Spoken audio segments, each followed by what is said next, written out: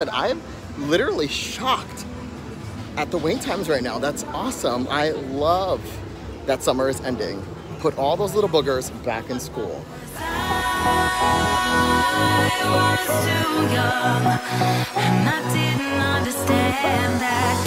Hello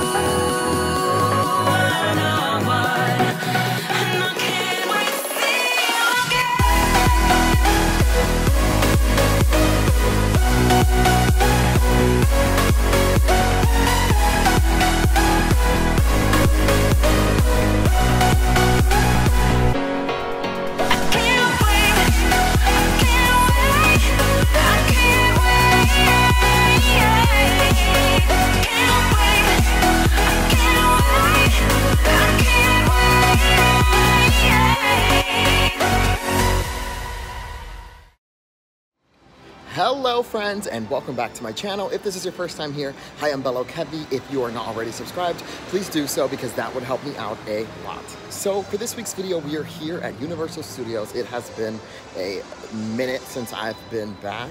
Now uh, I've been uh, in the process of becoming a Disney cast member, so that's why I haven't been posting that much uh, lately.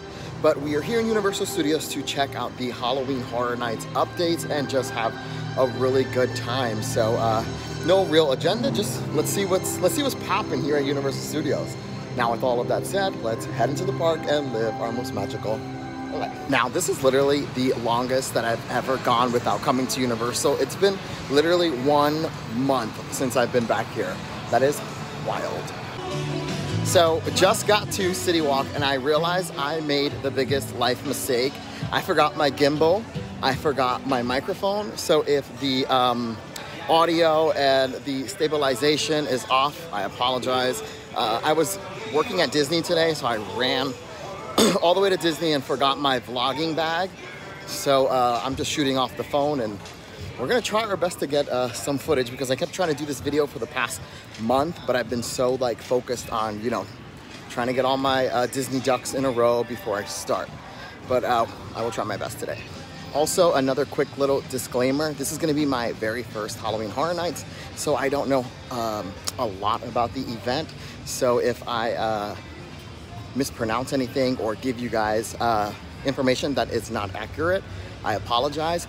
But if you guys want like real good uh, details on everything Halloween Horror Nights, uh, go check out Losh TV. He is, in my mind, the king of Halloween Horror Nights. He has really great videos Mine is very amateur. This is my very first one and I just wanna come check it out. So uh, just a little, little nugget of knowledge for you there. Go check out uh, TV. It looks like Universal finally took down that Olympic sign that was in the middle. I couldn't stand that signage. It was so like, the colors were so ugly and I was like, I can't wait for this to go. When they had it up for Mardi Gras, I honestly didn't mind it, but this Olympic one was so it was such an eyesore for me. So I'm assuming they're gonna put up the um, Halloween Horror Nights one in the next coming week. I believe it starts September 3rd. And if I'm wrong, please roast me in the comments. All right, so here in the main entrance of Universal Studios, they have a lot of signage up for Halloween Horror Nights 30. I, the only thing I know is that uh, Jack the Ripper is like a really big deal. And I think he's like a Halloween Horror's icon. So that's the only knowledge that I know that I can give you. Uh, so please feel free, please feel free to go into the comments and give me pro tips on Halloween Horror Nights and things that I should experience, things that I should stay away from because it's super helpful for me because this is going to be my very first Halloween Horror Nights. So uh, yeah, go drop those comments. To think that in just a couple, a couple days really, we will be celebrating Halloween here in Florida. I know uh, Disney World is going to be doing Mickey's Boo Bash, which I think already started by the time this video is up. Um, it's hot. It's so hot still. So it's like weird to be dressed in costume going to these events. It is devilish. I feel like I am nestled in the devil's tits right now. That's how hot it is. Look at look at the so wet. Oof. Oh wow, the last time I was here, they had the Jurassic World Tribute Store open, and then that closed a couple weeks ago, but look how far along they've come with this brand new uh, Horror Nights Tribute Store. That is insane. And next to the tribute store by the mummy, they have all these like prop stages where I guess they're gonna have like fear, scare characters or scary monster people. God, I have no knowledge. but I guess this is where they're gonna be and they're gonna be hanging out here. So uh, that's interesting. It's good to know. I'm someone who does not like uh, to be scared. Uh, we used to have an event like this back in uh, Six Flags in New Jersey, and it was uh, Fear Fest. And I went once, and I don't think I've ever gone again. I've always said, yo, let's go back, but never really was down to go. I don't like being scared. I'm more of the Mickey's Not So Scary Halloween Party type of person. But I, of course, will do this once for you guys. So, uh, yeah, I'm excited, I guess. All right, so walking towards uh, the Wizarding World, there is some spooky, kooky, dooky stuff happening here. Guys, look at that.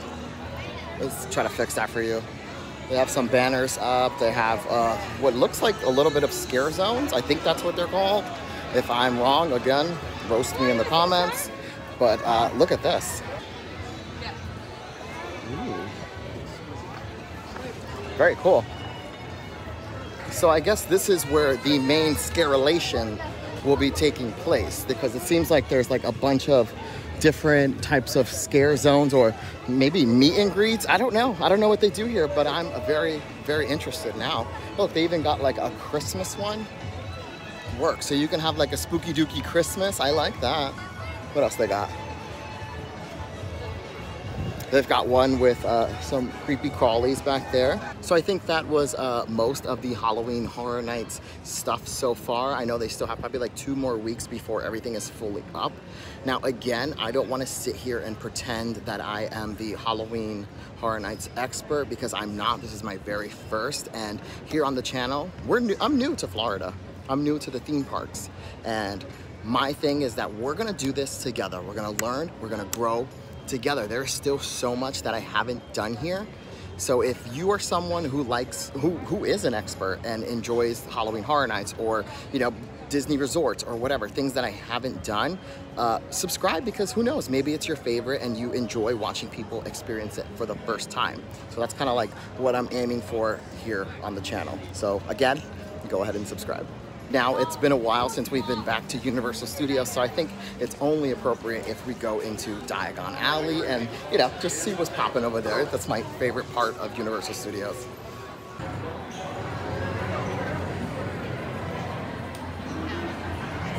So here we are inside Diagon Alley. Now today I don't think I'm gonna be riding uh, Gringotts Bank just because I'm not really in the mood to put my stuff in the locker and uh, you know, I've done it so many times now that I'm kind of like desensitized to the actual ride itself. And I, if I'm gonna be completely honest, I don't enjoy it as much as I used to. And waiting 30 minutes to me is not worth it. I think today we are definitely going to ride the Velocicoaster because that's something that still gives me that like, ooh. But I did just want to come into the Wizarding World because I love the ambiance of the Wizarding World. It really feels like otherworldly. Okay, so walking out of the Wizarding World towards the Simpsons area, I saw something that has completely triggered me because I have been terrified of this character as small as a goober. This thing really gives me like PTSD and I will share, share with you the story of why this scares me. The Chucky movies have always literally destroyed me as a kid. And one time, uh, someone thought it would be funny when I was younger, like uh, seven, uh, decided to put the Chucky doll, but like the Chucky where he had the staples in his face, in my bed after I got out of the shower. And that traumatized me to no return. And I still, to this day, at least once a month we'll have a bad dream where the Chucky doll is trying to either kill me or XYZ. Uh, it's it's so triggering for me. So whenever whenever I see the good guy doll, I can't. I cannot. Now here in the Simpsons area or the other side of the lagoon, do they do like scary things on this side? Uh, I'm not sure. Uh, it doesn't seem like they do because there are no like uh, stage props or lighting fixtures up. I really, really, really should have done my homework before coming here. oh my god, this is the worst Halloween Horror Nights video ever. Well, I stand corrected because behind me there are some tents that kind of have the same setup as when they did Mardi Gras. So maybe they will be doing something on this side for Halloween Horror Nights. And actually, I'm seeing a lot more decorations over here. Oh my gosh, wow. Look at this.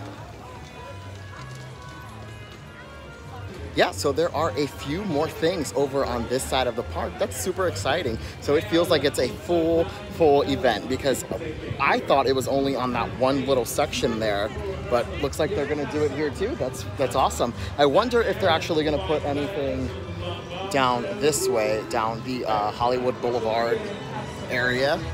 I guess we'll see. All right, so walking down the like Beverly Hills street, they do have um, more stages. So it looks like they are going to be having uh, scare zones, I think, all through this area too, which is exciting. I thought, again, it was only gonna be in that small little area. So that's super exciting. I'm actually looking forward to my first Halloween Horror Nights. This is really cool. It feels like this is like their main event. Like uh, Christmas, she doesn't matter. St. Patrick's Day, who is she? Halloween is their go-to gal. Guys, it is ridiculously hot. I cannot stress this enough. When you come to the parks, make sure you drink lots of water because if you don't, you will be spread out on the floor needing like CPR and recovery. So drink lots of water. So I am pretty much done here at Universal. We're gonna head to Islands of Adventure because I am starving. I haven't had lunch and it is already uh, almost four o'clock, uh, which is basically dinner. And then we're gonna do some rides. Uh, definitely getting on the Velocicoaster and Hagrid's is always up in the air because you do need a uh, reservation for that. So I doubt we'll be able to do it, but uh, who knows? Maybe we'll get lucky. All right, so we made it into Islands of Adventure. Uh, walking here was a mistake. It is literally so hot. I should have taken the Hogwarts Express, and it was only like a 30 minute wait, which it seems long, but at least it's air conditioned. But this is rough. It is so hot, and I'm wearing all black because uh, I'm less than smart. It's it's rough today, but um, I guess let's go have some fun. Now, school has officially begun for, uh, I guess, southern states because up north we start school in uh, September, but here they start in August, which is uh, great for me because most kids are back in school, so wait times shouldn't be that bad. Now we're gonna head to the Velocicoaster area, but we're gonna cut through Seuss Landing and check out the wait times, and that'll kind of gauge us and see like, oh, maybe the kids are back in school, or maybe all those little uh, brats who live up north are here right now. And if I am not making sense throughout this video, it is because the sun has got me, girl. She has worn me out and I am going to pass out. So at any moment I uh, start slurring my words or talking real slow, it was nice knowing you, gal. Well, it's happening. Walking through Seuss Landing, I honestly feel so bad for the team members because it seems like their uniform is, or costume, I'm not sure what they call it, is long pants and a uh, shorts, like the short sleeve button up. God, and they all look so hot. Jesus. It's not cute. Mama, I thought I was dying. Thing one, thing two, and the Grinch are out here. And ciao.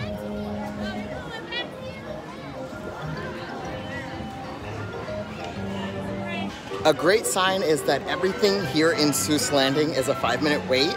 So Cat Hat is usually five minutes, but the up, up, in the way uh, trolley, I always get that wrong, is only five minutes. So in the peak of summer, that was at a 35 minute wait. So that's really, that's a really great sign. So let's head uh, into the Wizarding World and check out the rest of uh, Islands of Adventure. Also, ladies, if you are someone who wears makeup and is coming to the park during like July, August, September, mama, don't even bother because you will sweat it out within the probably first three hours because it is so hot. So uh, save your products, save your Anastasia Beverly Hill Cosmetics, save your NYX foundations, all of that because you do not want to wear that here in the parks. It is way too hot. So when you're here in the Lost Continent, you have the option now to cut straight into, uh, sorry, cut straight into like the Velocicoaster entrance or keep going straight into uh, Hogsmeade. We're gonna go straight into Hogsmeade today, but usually I do take that little side path because it just gets you there quicker. But I haven't been here in a while and I do wanna see what Hogsmeade is looking like. It's been about a month, so I need that like, that fix.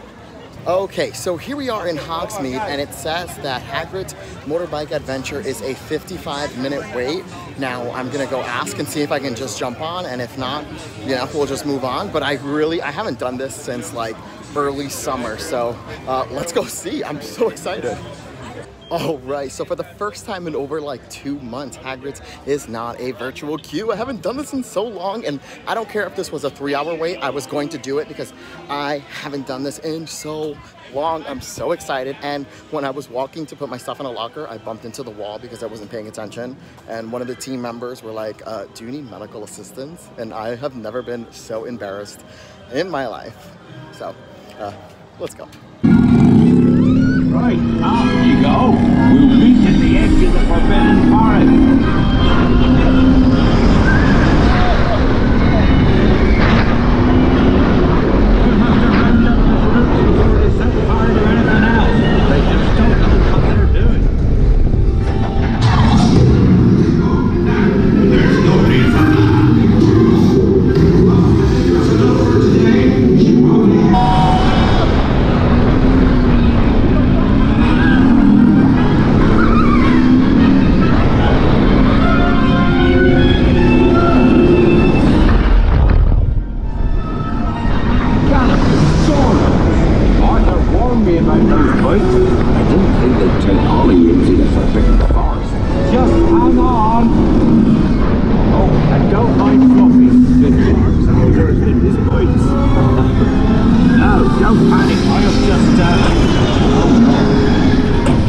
You've lost power.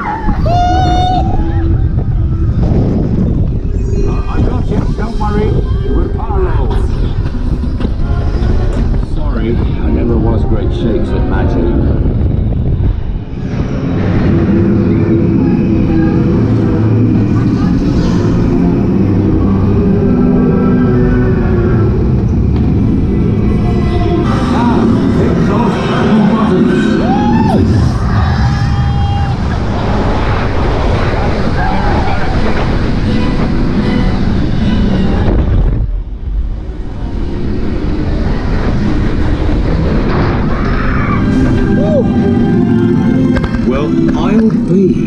There's a unicorn. And look, she's a mum. Ready, lucky thing to see such a sight in the wild. But Merlin's All right, so I just got off of Hagrid's Motorbike Adventure. That was the first time I can actually get like full footage thanks to the GoPro. I hope it came out beautiful. I, I guess we'll see.